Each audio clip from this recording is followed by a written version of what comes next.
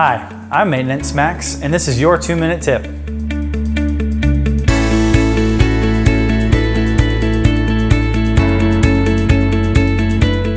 Today we're going to show you how to clean an aerator. Plumbing lines are flushed to remove any dirt or foreign matter before you move in. Small amounts of minerals can enter your line during normal usage and can block the aerator on a faucet. Aerators are located at the end of the faucet and can be unscrewed for easy clean out or replacement. These should be cleaned every 3 to 4 months to prevent low water pressure. You can set up maintenance reminders on your personal buyer site at mydwhome.com to remind you when to clean your aerators.